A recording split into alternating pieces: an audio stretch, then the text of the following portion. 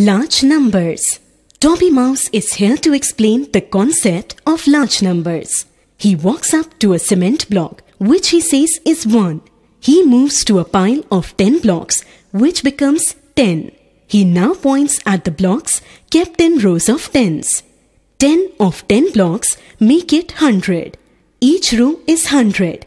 So, 100, 200, 300, 400, 500, 600, 700, 800, 900 and the 10th row makes it 1000 blocks.